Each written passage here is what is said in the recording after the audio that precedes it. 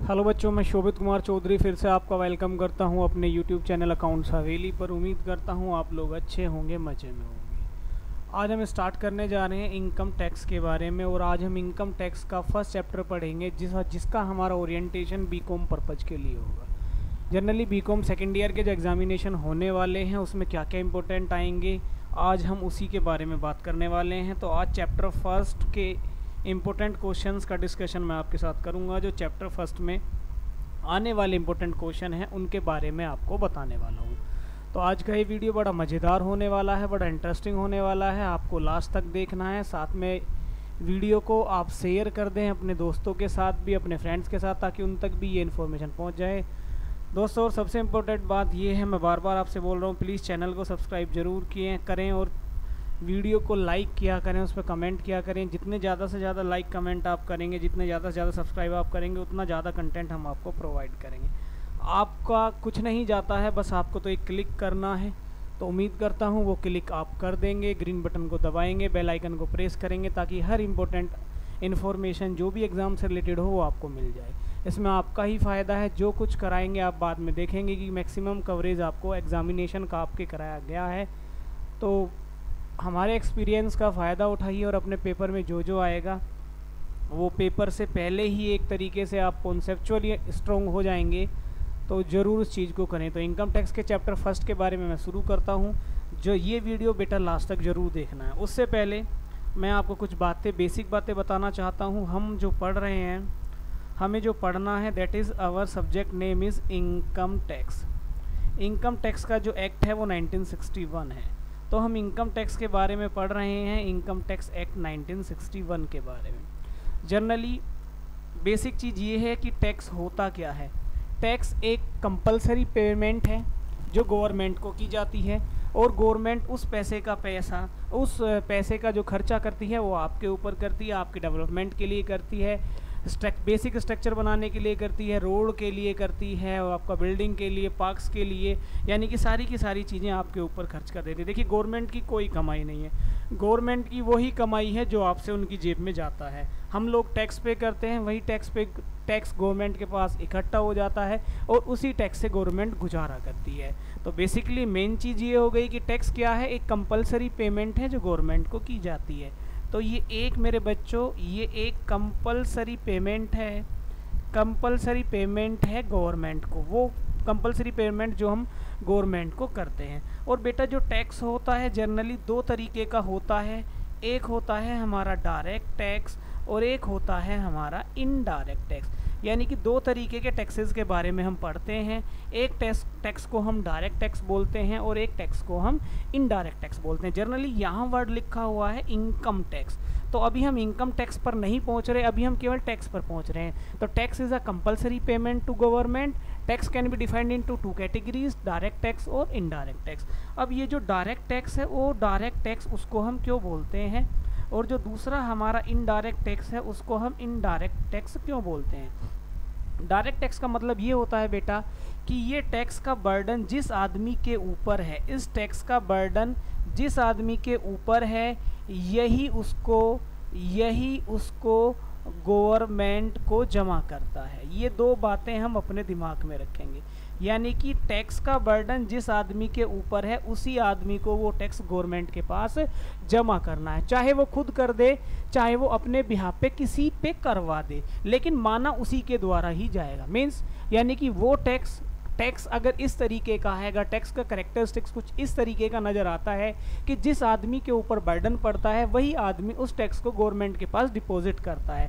मतलब मान लेते हैं टैक्स का बर्डन ए के ऊपर है और ए ही गवर्नमेंट के पास जमा करता है या मिस्टर ए ही इसको गवर्नमेंट के पास जमा कराते हैं। तो ऐसे टैक्स को हम डायरेक्ट टैक्स बोलते हैं। फिर बात आती है इनडायरेक्ट टैक्स की, कि इनडायरेक्ट टैक्स क्या होता है?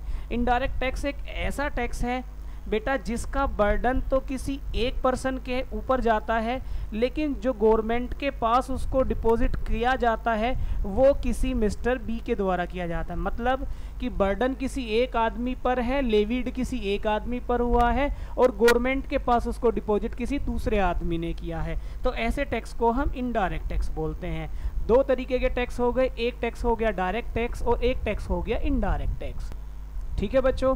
तो डायरेक्ट टैक्स का मतलब बर्डन जिस आदमी के ऊपर है, लेवीड जिसके ऊपर हुआ है, वही उसको गवर्नमेंट के पास जमा करता है। इनडायरेक्ट टैक्स का मतलब कि बर्डन जिसके ऊपर आया है, लेवीड जिसके ऊपर हुआ है, उसके अलावा कोई दूसरा आदमी उसको गवर्नमेंट के पास जमा करता है।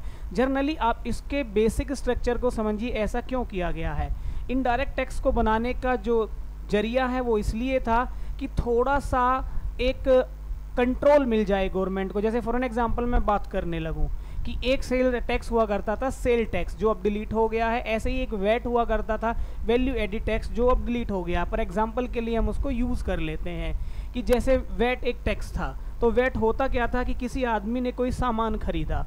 तो वो सामान खरीदते टाइम जो उसको परचेज प्राइस बताया जाता था, उस सामान में वो टैक्स का प्राइस भी जुड़ा हुआ होता था। तो इसका मतलब अगर मिस्टर ए कोई परचेजर है, उन्होंने कुछ सामान खरीदा है तो मिस्टर ए ने उस सामान का जो प्राइस दिया है, वो प्लस टैक्स दिया है। लेकिन वो पैसा किसके पास इकट्ठा हुआ? वो पैसा मान लेते हैं मिस्टर बी, जो एक दुकानदार हैं, उनके पास इकट्ठा हुआ है। तो जो टैक्स जमा करना है, मिस्टर ए, जो एक कस्टमर है, उनको जमा नहीं करना है। मिस्टर बी, जो दुकानदार हैं, वो टैक्स इसको जमा करें। अब सोचिए, इसी तरीके से उस दुकान वाले के पास सुबह से शाम तक कितने सारे लोग आते होंगे? अगर उसने दस हज़ार लोगों से डील किया और दस हज़ार लोगों ने उससे सामान खरीदा तो दस हज़ार लोगों का वो टैक्स अकेला ही जमा कर सकता है। तो इस तरीके के टैक्स को बनाने का जो कारण है वो ये है कि ज़्यादा से ज़्यादा एक ही आदमी के हाथ में पॉइंट ऑफ़ कंट्रोल आ जाए और जल्दी से जल्दी गवर्नमेंट के पास ज़्यादा से ज़्यादा टैक्स पहुँच जाए। इनडायरेक्ट टैक्स में ऐसे टैक्स होते हैं, जैसे कि हमारा इनकम का टैक्स हो गया। अगर मैं बात करूँ एग्जांपल की तो जो डायरेक्ट टैक्स है, उसमें हमारा मेरे बच्चे आता है इनकम टैक्स और जो इनडायरेक्ट टैक्स हैं, उसमें बेटा इनडायरेक्ट टैक्स में आया करते हैं सर्विस टैक्स आपका इनडायरेक्ट टैक्स में आता है एक्साइज आता है कस्टम आता है ये सारे एग्ज़ाम्पल इनडायरेक्ट टैक्स के हैं। तो पेपर में पूछ सकता है कि डायरेक्ट और इनडायरेक्ट टैक्स में क्या डिफरेंस है तो कोई चार डिफरेंस आप सर्च कर लेंगे। जैसे मैंने आपको बताया है बर्डन एक आदमी के ऊपर होता है, जमा भी वही आदमी करता है डायरेक्ट टैक्स हो गया। बर्डन एक के ऊपर है डिपॉजिट गवर्नमेंट के पास दूसरा करता है इनडायरेक्ट टैक्स हो गया। फिर हम एग्ज़ाम्पल लिख देंगे कि income tax is the example of the direct tax ऐसे ही उसके बाद हम लिख देंगे सर्विस टैक्स एक्साइज और custom duty is the example of indirect tax ठीक है? तो इस तरीके से हम इनकी हम डिफरेंस बना सकते हैं। दो डिफरेंस आप खुद सर्च करेंगे, क्योंकि कुछ होमवर्क आपके पास भी रहना चाहिए और कमेंट करके मुझे बताएँगे कि आपने दो डिफरेंस कौन से ढूंढे हैं। तो पहला डिफरेंस तो यही हो गया कि डायरेक्ट और इनडायरेक्ट टैक्सटेशन में जो डिफरेंसेस होते हैं, वो आप मुझे कमेंट करके बताएँगे। ज़रूर कमेंट कीजिएगा। अब मैं चैप्टर फ़र्स्ट में बात करने वाला हूँ और इम्पोर्टेंट टॉपिक की। हम पढ़ रहे हैं इनकम टैक्स तो इनकम टैक्स होता क्या है? अभी तक हमने नहीं बताया इनकम टैक्स क्या होता है। तो इनकम बेटा क्या होती है, आप जानते हैं। किसी एक आदमी ने जो कमाया है, किसी एक आदमी की इनकम और उस पर लगने वाला ही, उसको, उसके ऊपर दी जाने वाली गवर्नमेंट की कंपलसरी पेमेंट जिसको हम बोलते हैं टैक्स मींस जब कोई आदमी अपनी इनकम पर गवर्नमेंट को पैसे टैक्स सबमिट करता है अमाउंट सबमिट करता है तो उसको इनकम टैक्स कहते हैं। इनकम टैक्स एक डायरेक्ट टैक्स है तो ये भी लिख सकते हैं income tax is a direct tax which is levied on a person and deposited by the such person on his या हर इनकम तो इस तरीके से हम इनकम टैक्स की डेफिनेशन दे सकते हैं। अब इनकम टैक्स के अंदर में हमें पढ़ना होता है पर्सन क्योंकि जो टैक्स जमा करता है, वो एक पर्सन जमा करता है। तो इनकम टैक्स के हिसाब से किन किन आदमियों को पर्सन माना गया है जो टैक्स जमा करेंगे। बी केयरफुल ढंग से पढ़ेंगे। इनकम टैक्स के अंदर सेक्शन 231 में लिखा हुआ है कि पर्सन क्या होता है।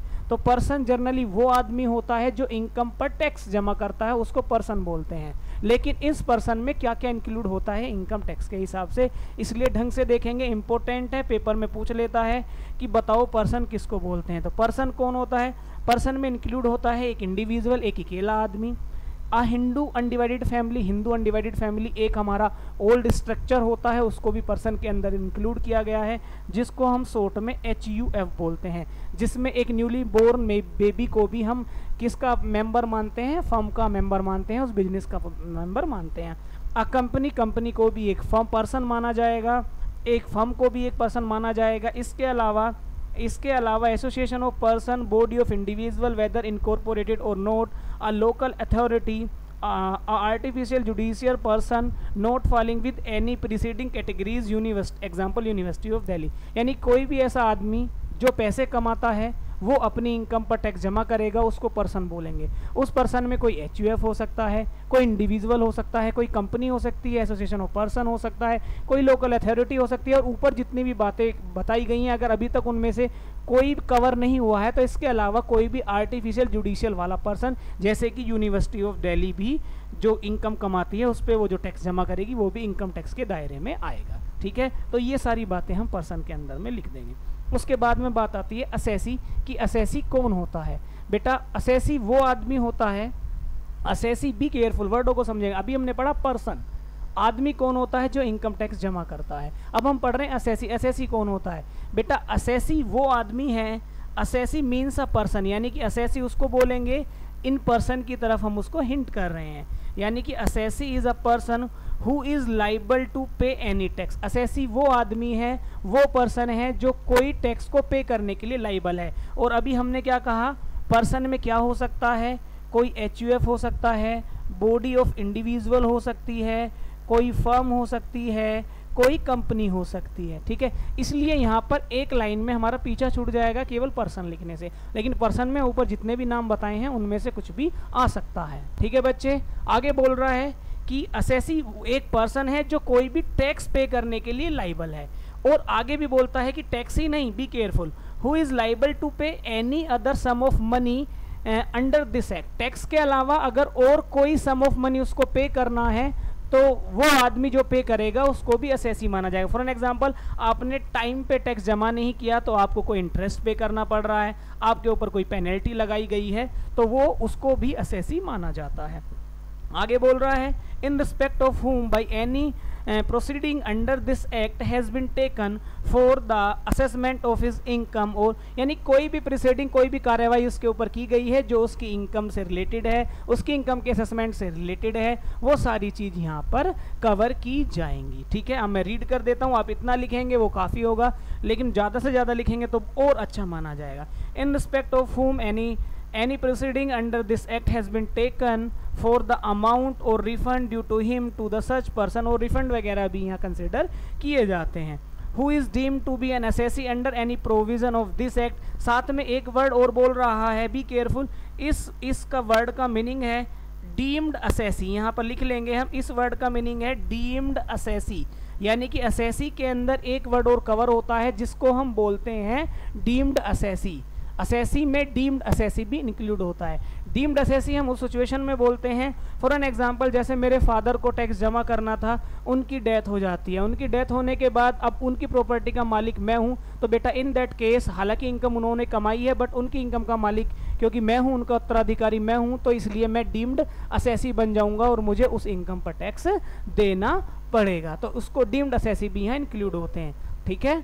असेसी, वो आदमी जिसकी इनकम पर टैक्स दिया जाता है, उसको असेसी बोला जाता है। उस आदमी में कोई एचयूएफ हो सकता है बॉडी ऑफ़ इंडिविजुअल हो सकता है फर्म हो सकती है कंपनी हो सकती है हिंदू अनडिवाइडेड फैमिली हो सकती है। ठीक है? Who is the deemed to be an assessee in default under any provision of this act और या कोई भी ऐसा असेसी जिसको डिफ़ॉल्ट असेसी माना गया है, किसी भी एक्ट के अंदर में उसको भी यहाँ कंसिडर असेसी की तरह किया जाएगा। सेक्शन टू सेवन में ये बातें लिखी हुई हैं। आगे बढ़ते हैं। एक और सबसे इम्पोर्टेंट क्वेश्चन यहाँ का। आज जो मैं कवर करा रहा हूँ, सारे सारे शॉर्ट आपके लिए, जो शॉर्ट एक तरीके से क्वेश्चन है, जो चार चार नंबर के क्वेश्चन आते हैं, वो कवर करा रहा हूँ। अब इसमें हम पढ़ने वाले हैं प्रीवियस ईयर प्रीवियस ईयर क्या होता है? इसको हम बच्चे एक एग्ज़ाम्पल से समझेंगे। एग्ज़ाम्पल में इस तरीके से, आप ये समझिए, मैंने अपना बिज़नेस एक अप्रैल 2020 को स्टार्ट किया। बी केयरफुल मैंने अपना बिज़नेस एक अप्रैल 2020 को स्टार्ट किया और जो मेरा बिज़नेस ख़त्म होता है 31 मार्च 2021 को ख़त्म होता है। ठीक है मेरे बच्चों? अब हुआ क्या? ये जो मैंने किया है, इस ब्रैकेट को हम बोलते हैं 12 महीने का एक फाइनेंशियल ईयर क्योंकि कैलेंडर ईयर एक अप्रैल से चलता है, जो टैक्स के अंदर कैटेगराइज नहीं होता है वैल्यूएबल नहीं होता है। हमें टैक्स के हिसाब से लेकर जो चलना पड़ता है टैक्स के हिसाब से हमें लेके चलना पड़ता है फिनेंशियल ईयर या फाइनेंशियल ईयर को। तो फाइनेंशियल ईयर हम मानते हैं टैक्स के पर्पज़ से, जो एक अप्रैल से चलता है और 31 मार्च को ख़त्म हो जाता है। तो एक अप्रैल 2020 को मान लेते हैं, मैंने अपना काम करना, अपना बिज़नेस स्टार्ट किया, और 31 मार्च 2021 को अपना बिज़नेस मेरा वो वाला साल मेरा ख़त्म हो जाता है। अब मैंने पूरे साल बिज़नेस किया है, मुझे, मैंने क्या कमाई होगी? इनकम तो मुझे इस साल की इनकम पर क्या देना पड़ेगा? टैक्स देना पड़ेगा, थोड़ा सा ढंग से समझेंगे। तो बेटा हुआ क्या है? कि इकतीस मार्च 2021 जो मेरी साल का लास्ट है। मेरे साल का लास्ट है, जो मैंने इनकम एक अप्रैल 2020 से कमाई है, इकतीस दिन 2021 उस साल का लास्ट हो जाता है। उस साल का लास्ट दिन है, उस दिन मैं लास्ट दिन अर्निंग कर रहा हूँ। तो हुआ क्या, मैंने 10 बजे तक अपनी दुकान पे रहा और अच्छे तरीके से कमाई करी और मैं अपनी दुकान बंद करके चला गया। और जब मैं नेक्स्ट डे आया तो फिर आ गया एक अप्रैल 2021 और एक अप्रैल 2021 से स्टार्ट हो गया एक नया साल। एक चार 2021 से स्टार्ट हो गया नया साल। लेकिन जो पिछले साल मैंने इनकम कमाई थी, अभी तक मुझे उस पर टैक्स देने का टाइम कहाँ मिला है? अभी तक तो मैंने अपनी पूरी इनकम कंप्यूट भी नहीं करी है। पूरे साल काम किया है, अब बैठ के मैं अपनी इनकम कंप्यूट करूँगा। तो जो मैं इनकम कंप्यूट करूँगा, वो मैं, मेरी इनकम स्टार्ट होगी एक अप्रैल 2020 से लेके 31 दिन 2021 तक जो मैंने इनकम कमाई है, उसका कंप्यूटेशन जो स्टार्ट होगा, वो एक चार 2021 से मैं करूँगा। और गवर्नमेंट मुझे चार पाँच महीने का टाइम देगी कि आप आराम से बैठ के हमें कोई गलती ना हो कंप्यूट करके दे दें। तो इस तरीके से पिछले साल की इनकम पर टैक्स देते देते असेसमेंट करते करते, उसकी कैलकुलेशन करते करते अगला साल आ जाता है नेक्स्ट ईयर आ जाता है। इसलिए वर्ड यहाँ पर यूज़ हुआ है प्रीवियस ईयर यानी कि ये ये वाला साल मेरा कौन सा हो गया? प्रीवियस ईयर और मैं इस पर टैक्स कहाँ निकाल रहा हूँ? बैठ के अगले साल जो एक चार दो हज़ार इक्कीस से स्टार्ट होता है। उसको हम करंट ईयर बोल देते हैं, क्योंकि उस साल मुझे दो काम करने हैं। पिछले साल की इनकम पर बैठ के टैक्स भी निकालना है और अपना करंट ईयर में इनकम भी कमानी है, सामान भी बेचना है। ठीक है? तो हुआ ये, मैं पिछले साल की इनकम पर बैठकर नेक्स्ट ईयर में जाके टैक्स देता हूँ, क्योंकि पूरे साल तो मैं कमाई में ही लगा रहता हूँ। तो इस प्रोसीजर को हम क्या बोलते हैं कि जिस साल मैंने कमाई की है, जिस साल मैंने कमाई की है, उस साल को हम प्रीवियस ईयर बोलते हैं। या हम ऐसे कह सकते हैं कि हम करंट फाइनेंशियल ईयर में जिस ईयर की इनकम पे टैक्स का कंप्यूटेशन करते हैं, हम क्या बोलते हैं? कि करंट फाइनेंशियल ईयर में जिस ईयर की इनकम का हम कंप्यूटेशन करते हैं, उस ईयर को प्रीवियस ईयर बोलते हैं। ये तो ये सिंपल सी बातें हमने यहाँ लिखी हुई हैं कि प्रीवियस ईयर क्या है।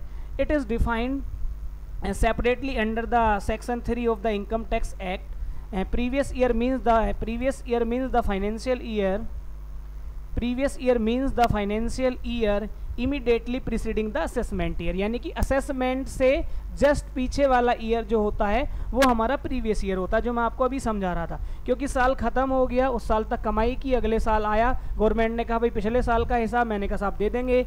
हम इस साल आपको पिछले साल की इनकम का हिसाब दे देंगे। तो उसी हिसाब से, उसी कॉन्टेक्स्ट में इसको प्रीवियस ईयर बोला गया और यहाँ पर डेफिनेशन लिखी हुई है। आप इसको एक बार पढ़ लोगे। ऐसे ही बात करते हैं असेसमेंट ईयर की। तो यहीं से इसको लिंक करें, यहीं से इसको लिंक करें। हमने एक अप्रैल 2020 से लेके 31 तीन 2021 तक बैठ के इनकम कमाई, जिसको प्रीवियस ईयर इसलिए बोल दिया गया क्योंकि इसकी इनकम पर टैक्स क्योंकि इसकी इनकम पर टैक्स जो हम कैलकुलेट करेंगे, वो हम करेंगे एक चार 2021 वाले ईयर में। और ये हमारा हो जाता है नेक्स्ट ईयर या असेसमेंट ईयर तो कहने का मतलब क्या है, सर? उल्टा रिलेट कर दो। अभी हमने क्या बोला था कि असेसमेंट ईयर में जिस ईयर की इनकम का टैक्स कंप्यूट करते हैं, उस ईयर को प्रीवियस ईयर बोलते हैं। यहाँ उल्टा कर दो। क्या बोलते हैं यहाँ पे? कि प्रीवियस ईयर की इनकम का टैक्स प्रीवियस ईयर की इनकम का टैक्स जिस ईयर में प्रीवियस ईयर की इनकम का टैक्स जिस ईयर में कंप्यूट करते हैं, उस ईयर को हम असेसमेंट ईयर बोलते हैं। असेसमेंट ईयर को आप करंट फाइनेंशियल ईयर की तरह भी देख सकते हो, उसको हम करंट फाइनेंशियल ईयर भी बोल सकते हैं। बात समझ में आ रही है बच्चों? तो ऐसे लिंक कर देंगे पूरी डेफिनेशन आप आराम से पढ़ सकते हैं, यहाँ पर लिखी हुई है। मैं आपको एक्सप्लेनेशन दे रहा हूँ ताकि आपके माइंड में बातें आ जाएँ। बाकी आप वीडियो को पोज करके यहाँ से अपनी पूरी चीज़ें लिख सकते हैं। अब इनकम क्या है? यानी कि वो कौन सी इनकम आपकी इनकम टैक्स के दायरे में आएँगी? सिंपल सी यहाँ पे बात आई है कि हमारी इनकम टैक्स के दायरे में कौन कौन सी इनकम आएँगी? ऐसी कौन कौन सी इनकम है जो इनकम टैक्स के दायरे में रखी जाएँगी? यहाँ पर दुनिया भर की इनकम लिखी हुई हैं। आप इस तरीके से ही पढ़ सकते हैं। या मैं आपको दिखा अब मैं लिख के दे देता हूँ। आप ऐसे भी लिख सकते हो कि इनकम टैक्स में जो इनकम है, वो फाइव हेड्स में डिवाइडेड है। आप ऐसे भी आंसर लिख सकते हो। कि इनकम टैक्स में जो इनकम है, वो फाइव हेड्स में डिवाइडेड हैं। पहले को हम बोलते हैं इनकम फ्रॉम सैलरी दूसरे को हम बोलते हैं इनकम फ्रॉम पीजीवीपी मतलब profit and gain from business and profession तीसरे को हम बोलते हैं इनकम फ्रॉम हाउस प्रॉपर्टी ठीक है? फिर हम चौथे को बोलते हैं income from under chapter capital gain और फिर हम बोलते हैं इनकम फ्रॉम अदर सोर्सेस ठीक है? अदर सोर्स ऊपर जो लिखा हुआ है, ऊपर जो यहाँ पर सारी बातें लिखी हुई हैं, वो इसी का निचोड़ लिखी हुई हैं, उन्होंने बड़ा बड़ा करके लिखा हुआ है। तो इनकम क्या है? प्रीवियस ईयर में जो हमने कमाई है, जिस पर हमें टैक्स देना है, उस इनकम में हमारा क्या क्या यानी कि जो हमने कहा ना इनकम पर टैक्स देंगे, प्रीवियस ईयर में इनकम पर टैक्स देंगे तो वो कौन कौन सी इनकम होगी? तो वो इनकम यहाँ पर लिखी हुई है। Income from salary income from PGBP income from house property income from capital gain या इनकम फ्रॉम अदर सोर्सेज सारी की सारी इनकम यहाँ कवर हो जाती हैं। आप ये भी लिख दें या इस तरीके से भी लिख सकते हैं। दोनों बातें एक ही हैं। उसके बाद आती है कैजुअल इनकम कैजुअल इनकम का मतलब होता है, मेरे बेटा, वो इनकम जो हमारी नॉन रेगुलर इनकम है. वो इनकम हमारी जो non regular income non regular का इनकम बार बार नहीं होती हैं, वो इनकम जो कभी कभी हो जाती हैं, ठीक है? इनको नॉन रिकरिंग इनकम भी बोलते हैं. इनको हम क्या बोलते हैं? नॉन रिकरिंग इनकम तो ऐसी कोई भी इनकम जो रेगुलर नेचर की नहीं है जो बार बार नहीं होती कभी कभार तुक्का पेली हो गई तो हो गई, वरना नहीं होगी ऐसे इनकम को हम नॉन रेगुलर इनकम बोलते हैं। यहाँ लिखा भी हुआ है, आप देखेंगे कि ये नॉन रिकरिंग नेचर की इनकम होती है कैजुअल इनकम बार बार नहीं होती। इनमें क्या होता है? Winning from lottery crossword puzzles card game and other कोई भी गेम यानी कि एक तरीके से स्पेक्यूलेटिव नेचर की जो इनकम होती है। स्पेक्यूलेटिव बोलते हैं सट्टेबाजी को। तो यानी कि income from a speculative business को हम यहाँ कंसीडर करते हैं, ठीक है? जो विनिंग फ्रॉम लॉटरी हो क्रॉसवर्ड हो पजल हो कार्ड्स हो गेम हो, सट्टेबाजी की इनकम आप कह सकते हैं। जैसे prize awarded for coin collected जैसे मैं ये भी कह सकता हूँ, आप ऐसे कर देना इनकम फ्रॉम आप अभी अभी लिखें, देवी और सज्जनों के बी सी कौन बनेगा करोड़पति से जो इनकम है, वो आपकी रेगुलर इनकम हालाँकि आप उस पर टैक्स देंगे बट वो आपकी रेगुलर इनकम नहीं है, वो कैजुअल इनकम है। तो हम ऐसे भी कह सकते हैं इनकम को दो पार्ट्स में बांट सकते हैं रेगुलर इनकम और कैजुअल इनकम टैक्स हमें दोनों इनकम पर देना होता है, चाहे हमारी कैजुअल इनकम हो, चाहे हमारी कैजुअल इनकम ना हो, हमें टैक्स दोनों पर देना पड़ता है। आगे हम बात करते हैं टैक्स प्लानिंग की। टैक्स प्लानिंग का क्या मतलब होता है? टैक्स प्लानिंग एक वर्ड है कि आपकी जो, आपने जो इनकम कमाई है, जो उस पर टैक्स बनता है, आप उस टैक्स को थोड़ा मिनिमाइज कर सकते हो, टैक्स की लाइबिलिटी को थोड़ा मिनिमाइज कर सकते हो, टैक्स के दायरे में रहकर। उसको बोलते हैं टैक्स प्लानिंग। टैक्स प्लानिंग जो करते हैं, उनको हम टैक्स प्रोफेशनल्स बोलते हैं। टैक्स प्लानिंग जो करते हैं, उनको हम टैक्स प्रोफेशनल बोलते हैं।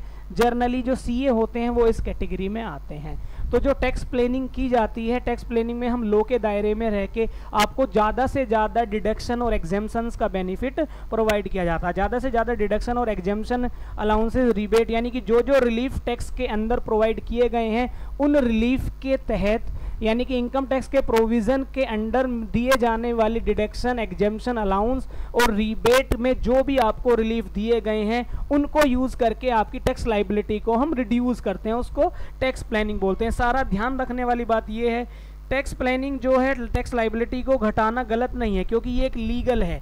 ये लॉ के हिसाब से लॉ ने हमें लॉ ने हमें कह रखा है कि आप टैक्स प्लान कर सकते हो, हमें प्रोविजंस दे रखे हैं। तो हम लो के दायरे में रहकर लो के हिसाब से जब अपने टैक्स की लाइबिलिटी को मिनिमाइज करते हैं, कम करते हैं डिडक्शन और एग्जामेशन की सहायता से तो उसको टैक्स प्लानिंग बोला जाता है। ये गलत नहीं है लीगल है, अच्छी मानी जाती है।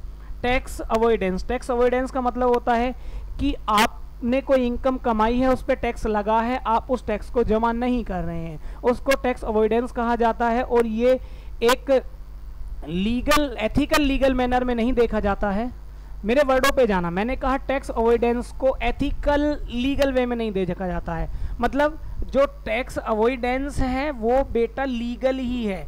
लीगल क्यों बोल रहे हैं? टैक्स प्लानिंग को भी लीगल बोल रहे हो टैक्स अवॉइडेंस को भी लीगल बोल रहे हो।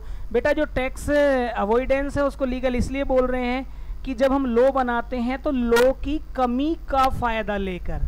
ठीक है? लो की कमी का फ़ायदा लेकर जब हम अपनी टैक्स लाइबिलिटी को रिड्यूस करते हैं टैक्स लाइबिलिटी को रिड्यूस करते हैं तो ऐसे को हम बोलते हैं टैक्स अवॉइडेंस तो गवर्नमेंट कहती है, आपको अच्छा आप एक अच्छे भारतीय हैं, हमें टैक्स ऐसे नहीं बचाना चाहिए कि लो में कोई कमी है तो लूफोल्स का फ़ायदा लेकर हम लो बचाएँ। तो एथिकली ये अच्छा नहीं माना जाता है लेकिन लीगल है। अगर आप इसका यूज़ करके भी टैक्स बचाते हैं तो आपको कोई कहेगा कुछ नहीं लेकिन आपको एक तरीके से आप ऐसे कहें कि इमा, आप ईमानदार हैं आप फलाने हैं आपका मोरल जगाया जाएगा तो आपसे उम्मीद की जाती है कि आप एथिकल काम करें। यानी कि जो सोसाइटी के वेलफेयर के लिए अच्छा हो जो गवर्नमेंट ने टैक्स लॉ बनाया, उस लॉ में कुछ कमी रह गई। आपने उस कमी को पकड़ लिया और उसका फ़ायदा उठाकर आपने टैक्स बचा लिया। तो पकड़ तो कोई सकता नहीं, क्योंकि लॉ में ऐसा कुछ लिखा हुआ नहीं है। आपने बच गए, आपने देख लिया, लॉ की कमी का फ़ायदा उठाया है। तो ऐसे में है तो लीगली लेकिन गवर्नमेंट आपको दुहाई देती है, ये गलत है, हमें ऐसा नहीं करना चाहिए, फलाना नहीं करना चाहिए। तो जनरली इसको एक वर्ड में हम बोलेंगे कि जो लू फोल्स यानी कि जो लॉ में कमी रह जाती है, उन लू फोल्स का यूज़ करके जब हम टैक्स लाइबिलिटी को कम कर लेते हैं तो उसको टैक्स अवॉइडेंस बोलते हैं तो गवर्नमेंट के हिसाब से टैक्स अवॉइडेंस अच्छी नहीं है अदरवाइज़ ये लीगल ही है। एथिकल वे में अच्छा नहीं कहते हैं, वरना तो ये लीगल ही है, आपको कोई पनिशेबल नहीं करेगा अगर आप ऐसा करते हैं। लेकिन हाँ जब समाज में बैठने की बात आएगी गवर्नमेंट जब सर्टिफिकेट बांटती है कि ये ओनेस्ट ओनेस्ट टैक्स पेयर हैं ओनेस्ट टैक्स पेयर हैं। तो ऐसे लोगों में शायद आपको जगह ना मिले, वहाँ पे ऐसे लोगों को जगह मिलती है कि पता है लो में कमी है, पर उसके बाद भी वो टैक्स दे देते हैं। तो टैक्स अवॉइडेंस भी कोई गलत चीज़ नहीं है एथिकल नहीं है, बस इतना कह सकते हैं। टैक्स इवेजन ये तो सीधा सीधा चोरी है। टैक्स में चोरी करना और ये मेरे बेटा इलीगल है। यहाँ तो आज फट्टे चक लेन दे अगर आपने ऐसा किया तो गवर्नमेंट बहुत फट्टे मारेगी, आपको फट्टे चकाएगी। फट्टे चकाएगी मतलब आप पे पेनल्टी लगेगी, इम्पर्समेंट हो सकती है, आपको जेल हो सकती है। तो अगर आप ऐसा करेंगे तो ऐसा ना करें। कहने का मतलब हम टैक्स इविजन को ऐसे दे सकते हैं कि हमारी कोई इनकम थी जो इनकम टैक्स के दायरे में टैक्सेबल थी और हमने उस इनकम पर टैक्स नहीं दिया। टैक्सेबल थी टैक्स के दायरे में आ रही थी और हमने उस इनकम पर टैक्स नहीं दिया, हमने उसको छुपा लिया। तो that is tax evasion tax evasion बिल्कुल भी अच्छा नहीं माना जाता है। यहाँ तो आपको सज़ा भी हो सकती है। तो थोड़ा सा ध्यान से। अब इसी तरीके से वर्ड आता है टैक्स मैनेजमेंट टैक्स मैनेजमेंट क्या है? आप पढ़ लेना, कोई इतना खास है नहीं। मेरे हिसाब से तो जो लिखा हुआ है एक बार रीड कर लेना। आगे हम बात करेंगे। आगे हम बात करेंगे basic principle of income tax तो ये भी बस आपकी नॉलेज के लिए लिख दिया है। एक बार इसको भी आप रीड आउट कर लेंगे, एक, इसको भी एक बार आप रीड आउट कर लेंगे। फिर लास्ट में आता है कंप्यूटेशन ऑफ़ टोटल इनकम कि हम टोटल इनकम का कंप्यूटेशन कैसे करते हैं। तो बेटा, अभी जो मैंने आपको पीछे पाँच हेड लिखवाए थे, जब हम उन पाँचों हेड की इनकम को, यानी कि अगर मैं ऐसे बात करूँ तो अगर मैं ऐसे बात करूँ sum of five heads income जब हम पाँचों हेड की इनकम का टोटल कर देते हैं तो हम उसको बोलते हैं, उसको हम बोलते हैं ग्रोस इनकम क्या बोलते हैं उसको? ग्रोस टोटल इनकम और जब हम वहाँ से माइनस कर देते हैं डिडक्शंस जो आपको छूट मिली हुई हैं तो आपकी आ जाती है एक तरीके से एन आई यानी कि नेट इनकम तो यही डिफरेंस है हमारा। यानी कंप्यूटेशन ऑफ़ टोटल इनकम में दो इनकम आती हैं। एक को हम बोलते हैं ग्रोस इनकम दूसरी को हम बोलते हैं नेट इनकम पाँचों हेड की इनकम का जो सम होता है, उसको हम ग्रोस इनकम बोलते हैं और नेट इनकम में ग्रोस इनकम में से हम जो डिडक्शन हमें मिली हैं चैप्टर सिक्स ए की है या कोई और डिडक्शन है, जब हम उनको माइनस कर देते हैं तो हमारी नेट इनकम आ जाती है। तो ये था हमारा आज का इंपॉर्टेंट कॉन्सेप्ट कम से कम एक क्वेश्चन यहाँ से पेपर में गारंटी से आएगा, मैं लिख के दे रहा हूँ हंड्रेड परसेंट और आपसे फिर बोल रहा हूँ बार बार, सारे जितने भी कॉन्सेप्ट बताए हैं इनको ढंग से कर लें और बेटा लाइक ज़रूर करें वीडियो को, कमेंट ज़रूर किया करें। जब तक के लिए धन्यवाद, घर रहें, सुरक्षित रहें और देखते रहें।